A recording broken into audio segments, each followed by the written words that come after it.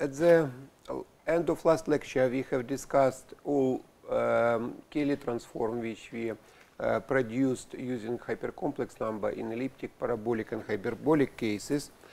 So we um, uh, find certain similarity uh, and transition from elliptic to hyperbolic from through parabolic, and we uh, illustrate connection between them on the example of three subgroups A and K, which was initially used to analyze uh, the Möbius transformation.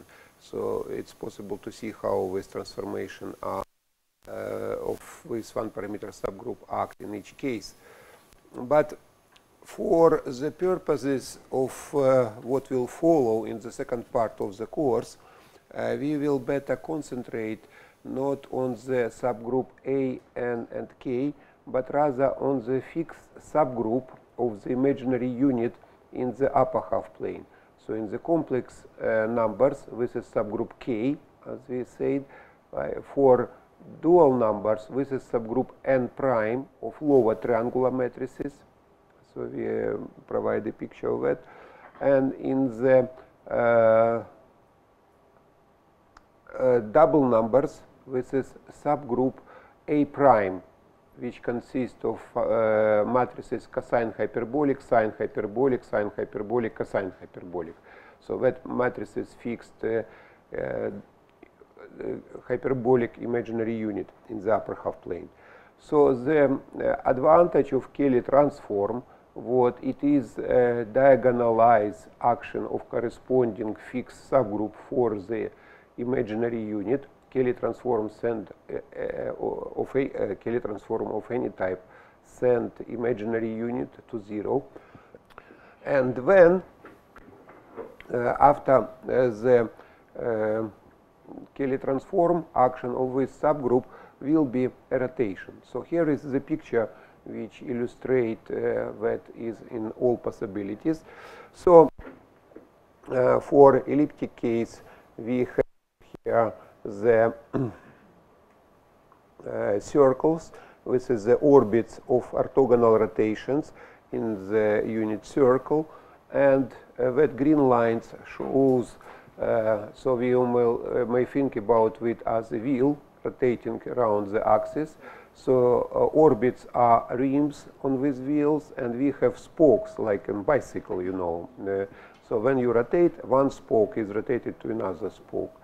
So here, a similar picture in hyperbolic case. So we have a unit disk uh, uh, which is bounded by two hyperbolas.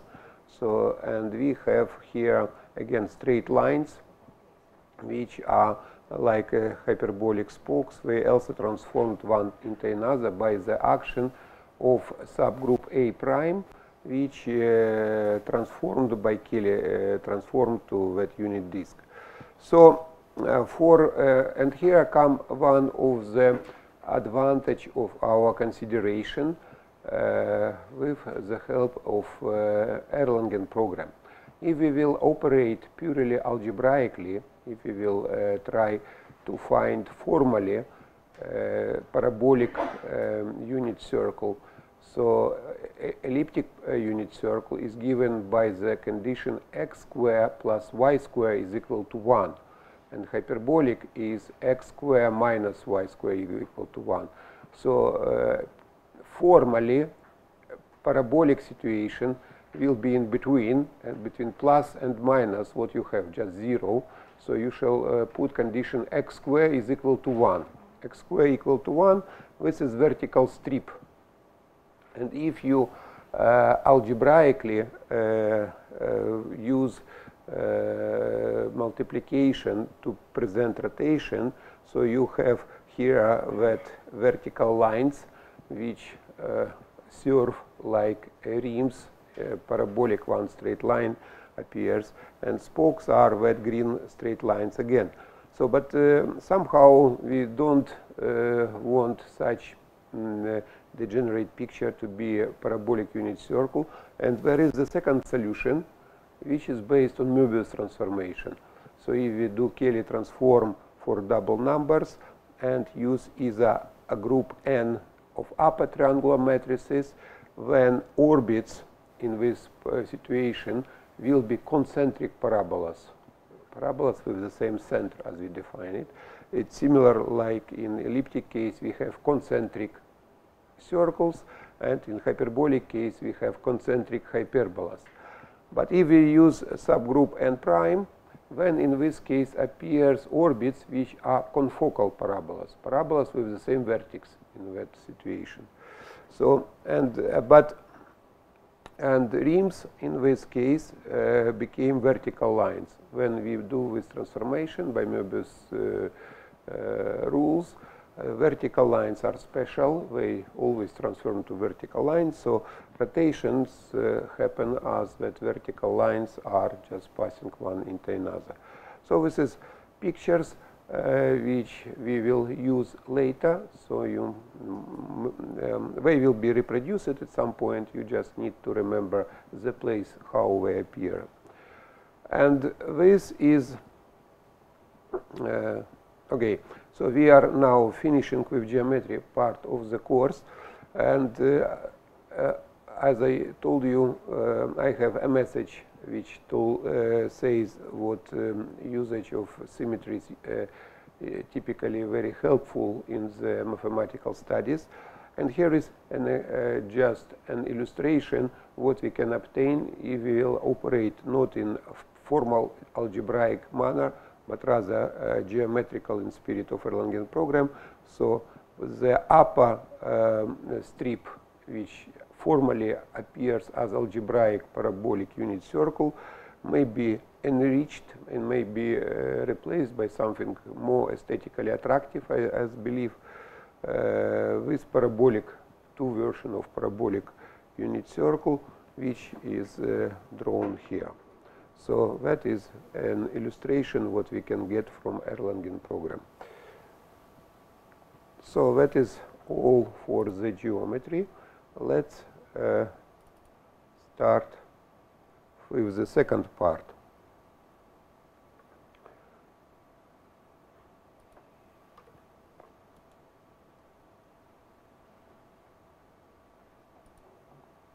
So um, again, as the main uh, target in geometry.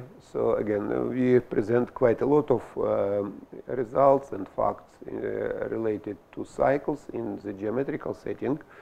But uh, even more results there is uh, in your lecture materials about cycles.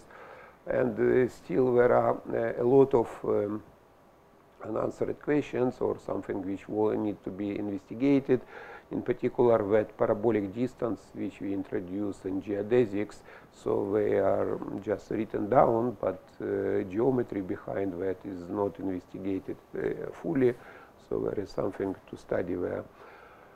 Nevertheless, uh, we have a kind of um, main uh, target as enriched parabolic case, which uh, formally from algebraic consideration appears very trivial, uh, just uh, with a lot of degeneration uh, and a lot of um, simple primitive forms of results. And that was achieved. So similarly for analytic function theory, we have some main target, and that target will be again to build an interesting uh, function theory uh, based on dual numbers. So let us uh, make a brief discussion uh, of uh, situation. Of course, uh, so in, as we learn from SL2R group, if we study geometry of SL2R, then uh, dual and double numbers appears as uh, sisters and brothers of complex numbers. And one of the main usage of complex numbers in mathematics this is complex analysis, analytic function theories. Uh, function, analytic function has a lot of remarkable properties. So, for example, analytic functions can be recovered out of its boundary value. So, if you know value on the contour, you can uh, restore every value in the domain. So, this is very special, this is remarkable. And analytic functions are uh, null solution to Cauchy-Riemann operator, where null solution to the Laplacian operator, which uh, are both physically important. And so there are a lot of um, usage, well, complex analysis itself is a beautiful theory, and moreover, it's very applicable. So there are a lot of interesting applications of complex analysis. So our target, or well, it's natural target, when people study, learn what are dual and double number, can we build analytic function theory similar to complex analysis based on these hypercomplex numbers? So almost any person who first uh, learn ex about existence of dual and double number ask that question. And of course, uh, uh, if this question asked, there are certain more or less natural standard way to resolve it.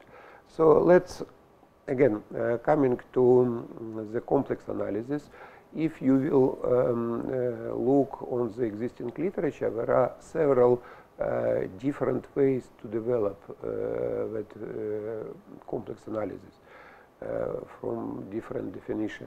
You may start from definition of analytic function as having a Taylor expansion. This is the Weierstrass approach and then expand uh, that theory uh, to obtain all principal result.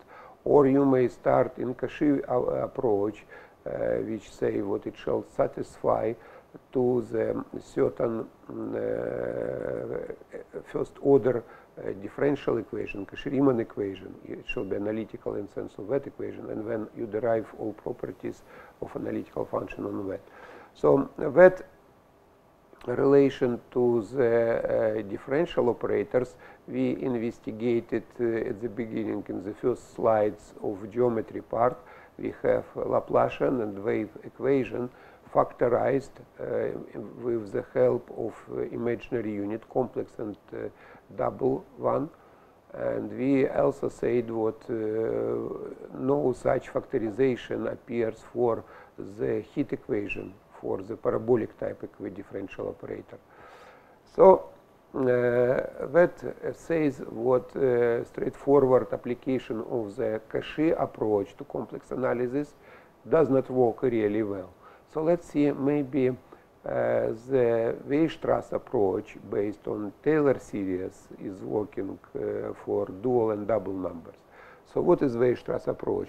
So you have a function, a real valued function, which is analytical in the real sense, meaning what its uh, Taylor expansion provides the value of the uh, function, say at point zero. So we have Taylor expansion. When uh, the attempt is to replace that uh, monomial here, x to the power k, uh, with the uh, complex number x plus y. So x plus y to the power k simply uh, substituted into Taylor expansion with the same coefficients ak, and we say what that will be the analytic expansion of real analytic function. So what will happen uh, if we use double numbers. As you remember, double numbers has the property that j square is equal to 1 and then we can introduce uh, the corresponding uh, basic vectors along the light cone which are zero divisors. So they have a property that their product is equal to 0 which follow from uh, j square equal to 1 and square of any of these unit is the same as with unit itself. So if you will apply that result to the uh, binomial, so and you express binomial in terms of this basis a plus and a minus, when all cross terms which contain a product e plus and e minus, they will turn to be zero. So out of entire binomial expansion, you just uh, have the first and the last term, where you have e plus to the power k and e minus to the power k. But this is just e plus and e minus.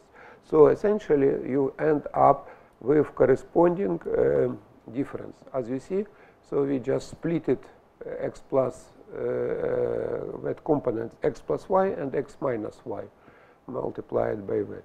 So if you will substitute that formula to the uh, Taylor expansion, you will see what for any analytic function uh, that expansion into uh, double numbers will turns what uh, we have f of x plus y times e plus and x minus y times e minus. That's it. Nothing else uh, appears out of Taylor expansion. It's, well, actually kind of expected things. Uh, so this is what we already again seen on the first slide uh, from the geometry part, what uh, J uh, allow to factorize wave equation.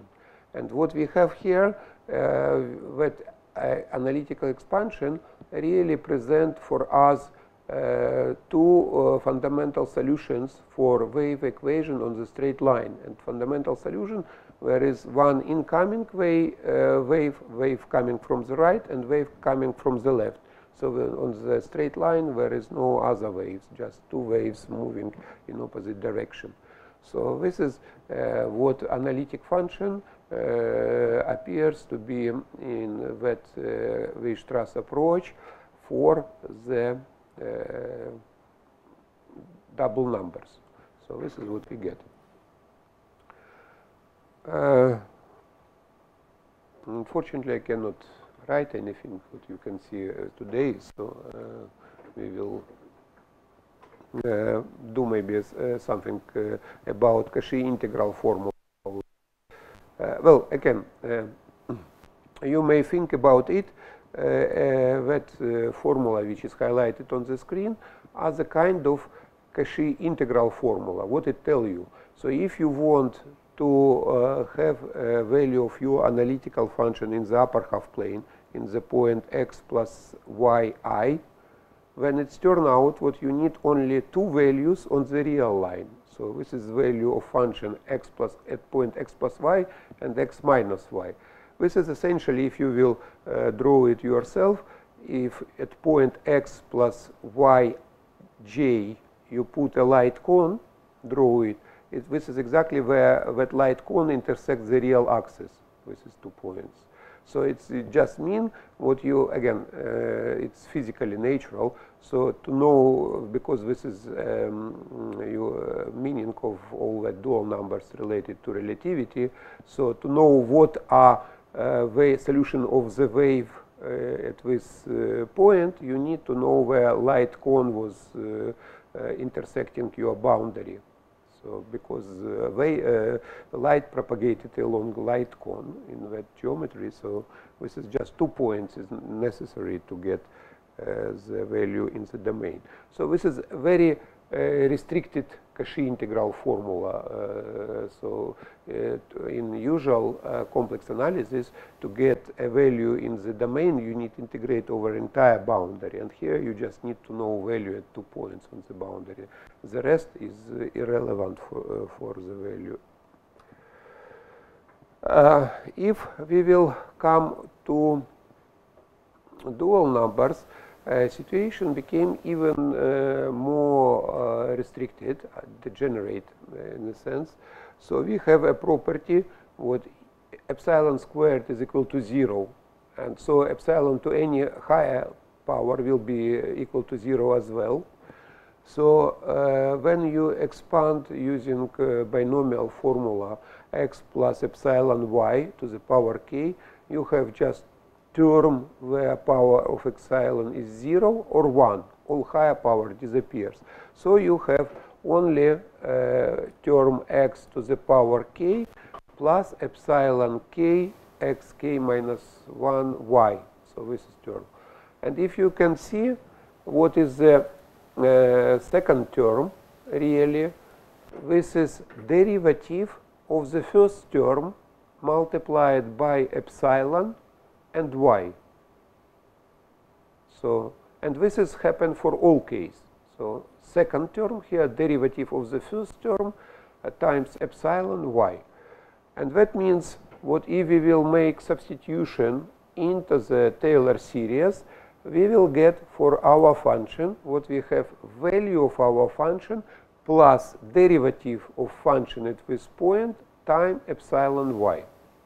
So this is what appears if you use that formula uh, for uh, move from just binomial to the general Taylor series. So in this way, uh, you um, record uh, the value of function. So what happened now? To uh, evaluate value within domain, so this is point in the upper half plane, x plus epsilon y, you need just to know value at the uh, it projection to the real axis and value of derivative of function at this projection, at this point, nothing else. So its value in the domain depend just on uh, two values, function and derivative, and its projection to the real axis. Again, this is uh, rather restricting uh, Cauchy integral formula if you prefer to think about it in this way, uh, and that expansion. Uh, so out of entire real axis, you just need to know value uh, under the point and nothing else. And uh, again, it may become as a kind of disappointment what we expect before uh, the complex analysis provides solution to Laplace operator. What we did on previous slide provides solution for wave equation. So we may be uh, wanting what dual number provides solution for parabolic equation like heat equation, but this does not happen. So what we obtain in this way, it's not a solution to heat equation, fundamental solution. So it's some other theory. So well, it's not completely uh, useless what we obtain here. Really, uh, that kind of dual numbers theory with numbers is of some value. We will see it later a bit. and it um, has a connection with so-called non-standard analysis. So, well, um, when you learn the analysis, you know what the modern way to represent it is through the limits, and this is essentially epsilon delta technique. When you uh, saying what for any positive epsilon there is corresponding positive delta such that one inequality implies another inequality. Actually, that uh, treat the um, limit in terms of certain process.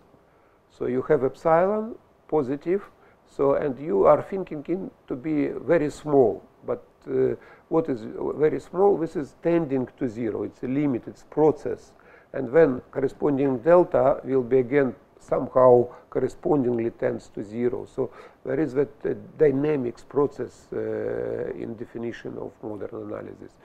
In uh, initially, when uh, people like Euler and other in 18th century, 17th century start to think about complex analysis, they um, think about uh, that things in terms of fluxions and uh, infinitesimals, and they believe that numbers to be just very small. So just small without any process, not tending to be small, but small from the beginning and, and some constant value. And somehow uh, uh, in 19th century when Cauchy uh, make uh, mathematical analysis rigorous through his definition of the limit, that way was a way of thinking about infinitesimals as certain small constants was dropped out, but it was re reborn in uh, 20th century, in second half of 20th century, under the name of non-standard analysis. It was possible, uh, or non-Archimedean analysis. So uh, there is uh, the Archimedes axiom, which tell you what uh, any uh, two real numbers are comparable in the size. What if you have two real numbers, doesn't matter how one is large and another small, whereas you can take integer number of small numbers, uh, of, of the small number, uh, sufficient number of time to exceed the large number. So multiplying by an integer, you can uh, make uh, any small number sufficiently large. So this is Archimedean axiom. And when, if you drop this axiom and assume what there are different scales of numbers, and you cannot move from one scale to another just by multiplying with an integer. So if there is such small number, what, whatever integer you multiply, it still will be ever, all time less than 1. So that means if you drop uh, axiom, so your epsilon is uh, by a way smaller than number 1, what multiplying epsilon, although it is not 0, by any integer never exceed 1. So this is uh, what happened in the absence of Archimedean axiom. So if you accept such picture, then uh, you may really uh, build uh, completely consistent, completely modern and rigorous version of analysis. And uh, well, it's logically probably equivalent it's, uh, to Cauchy type of analysis. There are no theorem which you prove in uh, one theory and cannot prove in another theory. So logically they are the same, but uh, technique how to operate are slightly different. And so epsilon is in this uh, language is uh, in non-standard analysis or non-Archimedean analysis is just that kind of infinitesimally small number. So it's fixed, it's not a process, it's a number with certain value, but that value is infinitesimally small at the scale of ordinary reals like a number 1, for example. But what happened when? One of the rule of this uh, non-standard analysis was if you consider epsilon square, it became infinitesimal of a higher order than epsilon itself. So whatever number uh, uh, n, you integer number n, you multiply to epsilon square, it will never exceed epsilon or never reach epsilon because it's infinitesimally small. What uh, our identity epsilon square is equal to zero tell it's even the next stage. It's say what epsilon itself is not zero, but epsilon square is zero. So whatever uh, number you choose to multiply to epsilon square, it never reach the epsilon. So this is somehow um, further um, step toward that non-standard analysis. Now epsilon square instead to be very small even at the scale of epsilon itself instead of that property we say it's just zero. So that is a relation to that non-standard analysis. And then in particular that formula uh, that expansion uh, allow you to uh, treat certain uh, theorem in the uh,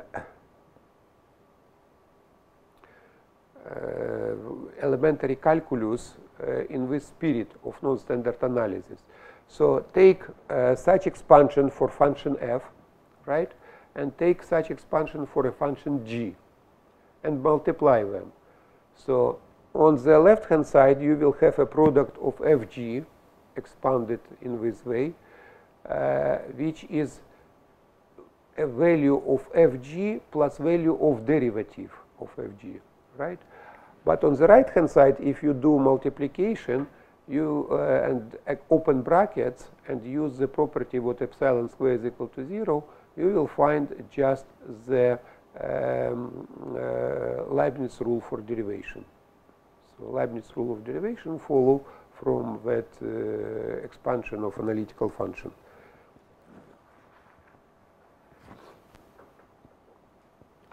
All right, uh, so uh, that is just um, a certain background uh, which tell us what if we will try formally uh, expand complex analysis using just algebra uh, that uh, multiplication of j, multiplication of epsilon, rule of multiplication, we obtain rather limited success.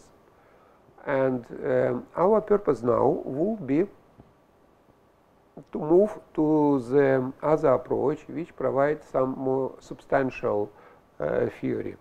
So, as you uh, remember, I told you what in our course there is a message there is some fundamental results uh, or fundamental techniques which you will benefit if you will learn anyway, and there is some illustration.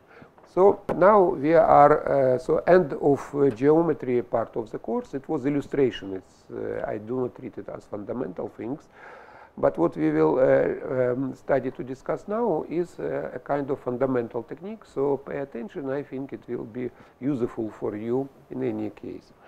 So we will be dealing uh, with our approach in Erlangen program style. And we will uh, use symmetries acting now not on geometrical space of points like it was in first part of the course, we will apply symmetries and we will apply SL to R to the spaces of functions. And this is, this is uh, functions make a vector space. So when you have two functions, you can add them just as you add vectors. And if you have function, you multiply it by a constant as you multiply the vector. So functions may be treated as uh, composing certain vector spaces. So we will now consider action of SL2R on uh, vector spaces. And this is a theory. It's known as the group representation theory. So essentially, what is the linear representation of the group? This is a homomorphism, group homomorphism from given group G to the group of linear operators on certain vector space. Well, what is linear operator? If our space is finite dimensional, if it's just column vector, the operators on column vectors represented by matrices. So we represent it by matrices. Uh, if, but uh, our vector space not necessarily finite dimensional. It may be space of functions and say L2 space. When L2 space is, has uh, some infinite basis, and when you may think about this operator, for example, as infinite matrices, or you may think about with operators as certain integrals, whatever. What is transformation? Map which send a, a, vector to another vector in a linear manner, preserving linear operation, is a linear operator. So we are acting, uh, we want to send our elements of the group to linear operators, preserving group operator operation with group homomorphism property. Well, again, as we already said, the group uh, sent to operators and operator in finite dimensional spaces can be treated as matrices. But you will say, what is the deal? SL2R is already matrices. So we put matrix to just how we, we wrote it. This is operator on a linear space. Uh, what is the purpose of that representation then? The purpose is uh, what uh, that come from the second informal definition of what is linear representation. When we uh, have uh, the group structure, so this is like multiplication. When we send it to operator in a linear space, operators have a property what you can, because it's a linear space, you can add to operators. If you know operator A acting on a vector x and operator B acting on a vector x, when operator A plus B is just AX plus BX right? This is add addition of operators. Uh, operators. So we, if our operator uh, group now act on linear vector space, we are able to add operators. So the purpose is to add certain addition to the multiplication which is provided by the group multiplication. And that multiplication and addition shall be connected by distributive law. And if you will think about SL2R itself, when uh, it's indeed a matrix, elements presented as a matrix, and if you will just apply that matrix to two-dimensional vectors, so it indeed will be a representation in a sense. But it will not uh, have the proper in terms of uh, with two times two matrices, it will not have a proper addition. So it will not, will, will not be linear. So well, again, representation can be defined not only for SL2R. Actually, uh, that is a big uh, theory studying uh, different linear representations for different symmetry groups. In particular, it's um, one of the important tasks in quantum theory uh, because um, uh, a lot of results uh, can be studied in terms of symmetries uh, of particular quantum system. In particular, uh, for example, last lecture we uh, was spoken about redshift and spectral lines of chemical elements. So for hydrogen atom, the spectral lines, the value which we obtain and observe, really can came out of representation theory of uh, group O3, orthogonal rotation in three-dimensional space. So hydrogen atom has very simple structure. There is one uh, proton, uh, positron, one electron. So it's a system with O3 symmetry, orthogonal rotation in three-dimensional space. If you decompose uh, representation of this group of symmetries over um, uh, some uh, discrete basis, you will get the spectral lines of hydrogen atom. So for other atoms, more complicated, you need to use certain more advanced group symmetry. But it's still uh, just a consequence uh, of uh, that uh, study. So let us consider uh, simple examples to give an, an, idea how linear representation are acting.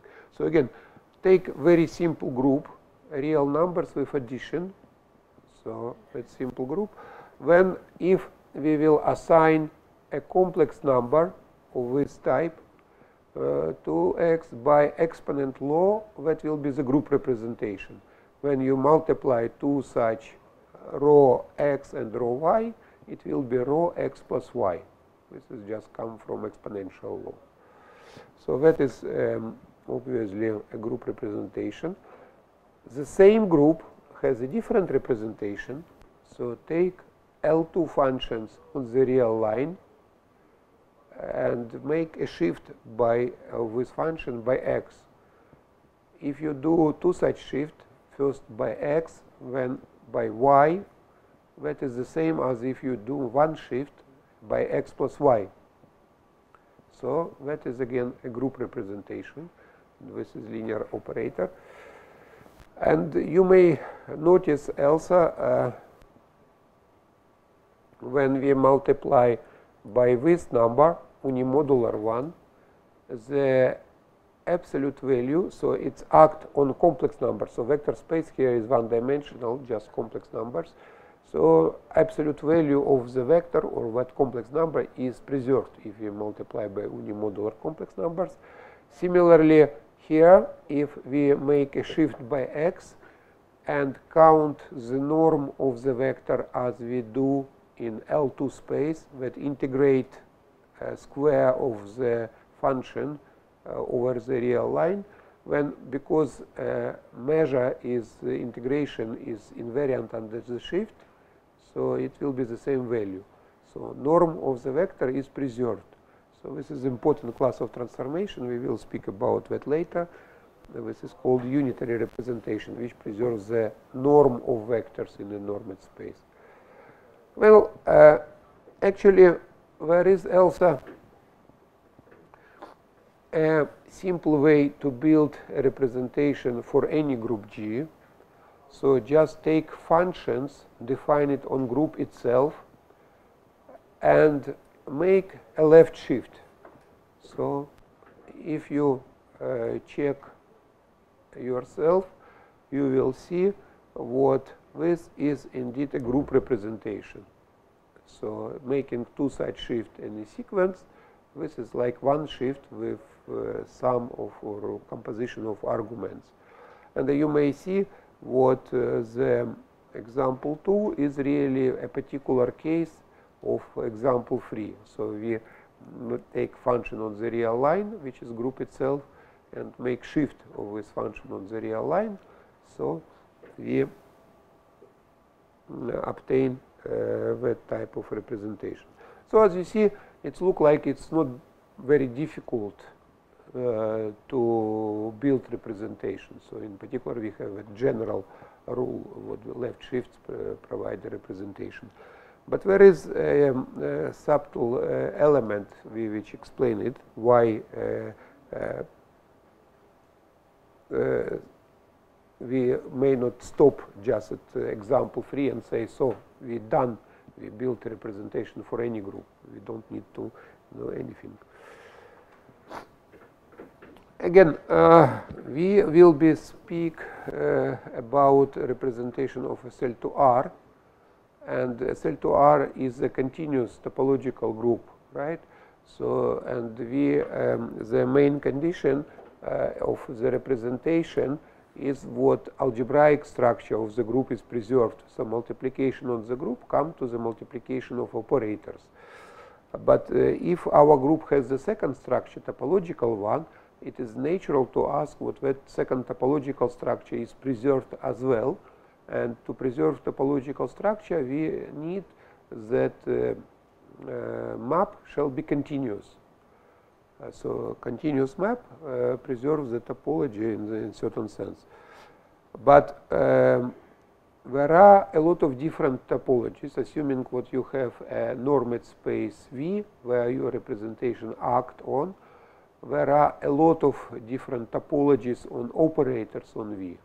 There are strong, weak topology, and so on. Uh, so we uh, ask, it's more convenient, it's turned out as a result of uh, investigation, what most convenient is to ask what group representation shall be a, a strong continuous. That exactly means what if we have a sequence of elements converging to the limit in the group G, then for any vector x, particular vector x,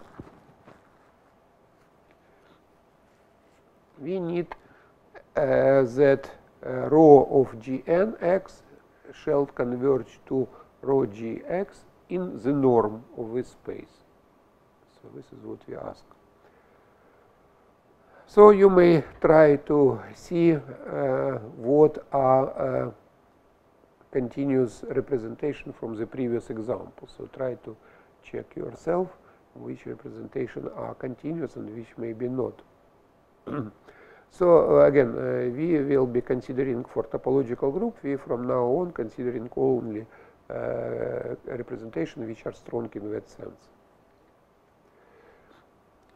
Well, uh, when you are working with mathematical objects, the typical method of investigation is decomposition of that object into smaller parts of the same type.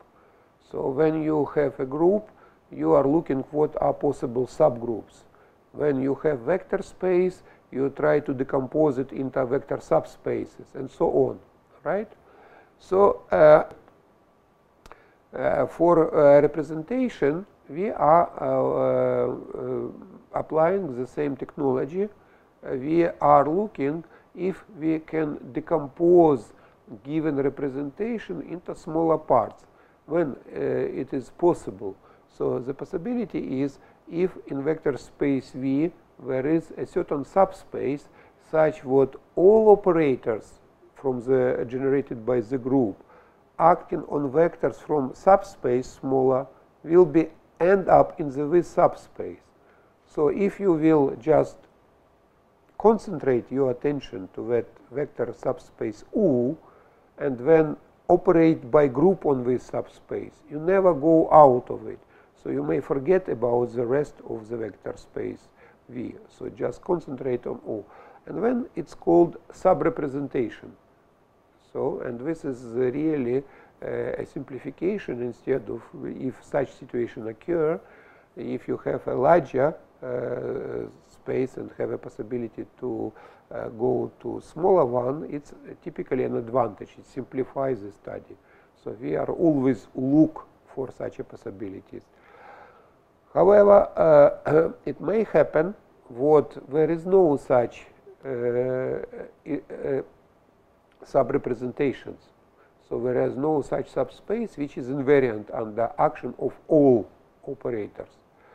Uh, of course, the entire space V itself and zero space are invariant in a very trivial way. But that is um, uh, what we are not discussing. So if there is no other uh, invariant subspace but only V and 0, we are saying that our representation is irreducible.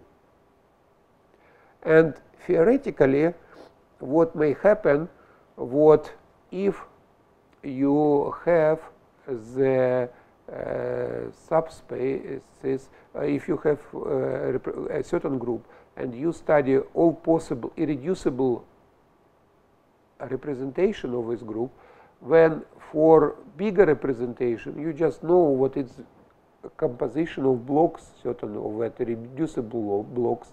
So any other representation is just built out of irreducible one.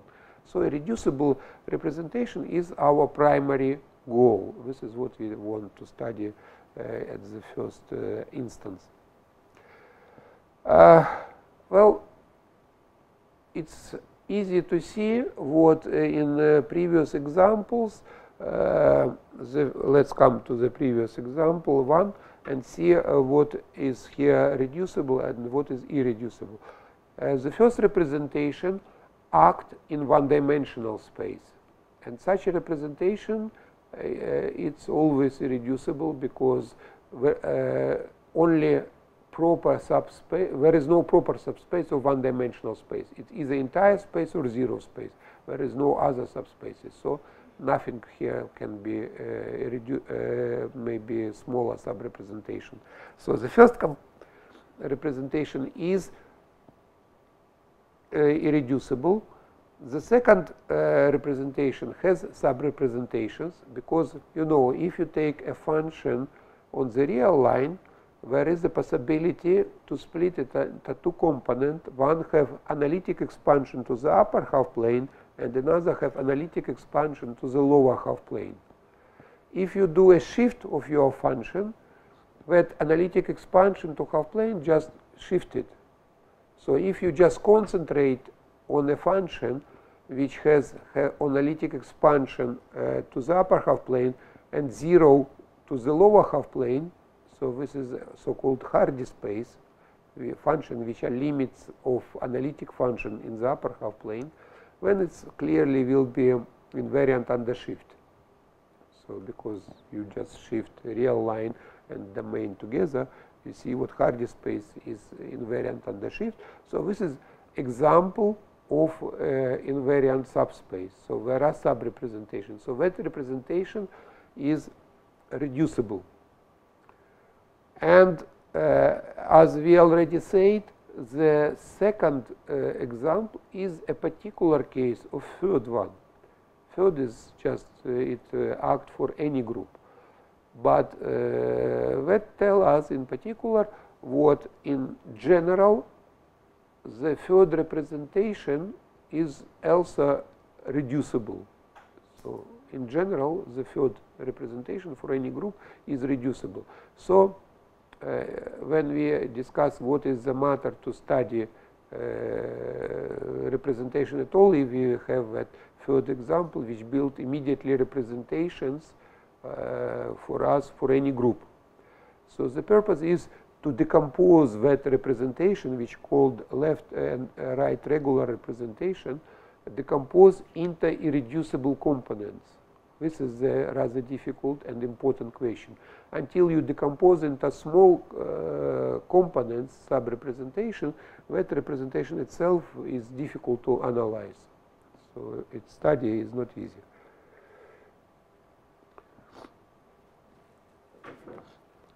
What is important uh, and uh, that is uh, somehow preferable situation uh, when we have an invariant subspace U uh, and vector space V, the question is what happened on the rest. So you know what from entire V you may concentrate just on U and study it, but what with the rest? So the ideal situation is as follow, when you can split V just into two parts and each part is invariant, when you can study them separately. So if you cannot split it in this way, it may be V1 is invariant, so you walk within V1, you live there, but if you go outside of V1, you cannot forget about V1. You may go back to V1 from outside. Uh, the rest, the complement is not invariant. That may happen. And that situation uh, somehow make things difficult. Much easier if you just separate uh, your space into two parts and may study one separately, the another separately, and then just formally put them together. And in this case, if we can do such separation, we called our uh, representation decomposable, and that is uh, great simplification to study such representation. Now, uh, when we are st studying a representation, again, like in other objects with mathematics, we know what there are things which are essentially different and there are things which just only appear to be different, but in fact equivalent. For example, we said about SL2R what it is equivalent to the group SU11, SO12, and so on. So there are many different phases of SL2R. And as soon as you study SL2R, good, for any equivalent group, you know how to proceed with your results to that other situation. Similar things happen with representation as well. So assume you have a representation rho which act on certain normed space E, and when there is the uh, isometric isomorphism to another vector space F, when if you make such a composition or conjugation of your representation with the that isometric isomorphism, you can check what it will be again a representation of a group G. So group homomorphism property is preserved by that map. So uh, you automatically for every isometric isomorphism you obtain another representation. But clearly that representation is not much different. So if it's isometric isomorphism, if you understand representation rho, rho 1 will be clear to you as well. So for this reason we called such representation equivalent. So if there is an operator U which intertwine uh, two representations, then we are calling uh, them equivalent. And U in this case called intertwining operator. So uh, whenever we have intertwining operator, we arrive to equivalent representation study of one provide information study with another. So again, let's consider example one. So we have a group of real numbers with addition, and we have the representation uh, of uh, this group. Uh, now we multiply by such an expression uh, not a complex number but a function so variable t. So we multiply 2 pi i t x function. Uh, it's uh, easy to verify again using exponent law what this is a representation of a group R. And we have an action, another representation of our group by a shift. Here is the classical intertwining operator between two representation is the Fourier transform. So if you shift the function, the Fourier transform is multiplied by the character of the group. So this is the character of the group. So this is very well known property which is behind of solution of differential equation, for example, because uh, that tell you what making Fourier transform the differential equation translated to algebraic equation, and so you solve it in this way and so on. So you have here that uh, intertwining operator. Uh, example of intertwining operator and example of uh, equivalent representation. Final uh, step uh, is to, in our introduction of this fundamental concept, will be um, uh, specifying very important class, rather large, interesting, and uh, still manageable. So this is representation which much nicer to study than the rest. This is unitary representation. So it's strongly continuous representation rho in a Hilbert space V uh, such that all operators which represent element of the group are unitary operators. Uh, again, if you will come to the previous example, L2R uh, square integrable function on the real line make a Hilbert space, and we already said what shift representation by shift preserves the norm uh, of uh, function. So this is a unitary operator. So this is an example of the unitary operator. What is advantage to study unitary operators is that if you have an invariant subspace for a unitary operator, in Hilbert space you have a notion of orthogonal complement. And for a unitary operator, its uh, adjoint is simply inverse. So that uh, shows that orthogonal complement to invariant subspace is invariant subspace as well. And so any unitary representation either is irreducible or decomposable. There is no that bad situation when you have invariant subspace, but complement is not invariant. Orthogonal complement to invariant subspace for unitary representation is also invariant. So that make study of unitary representation much simpler and nicer than the rest one.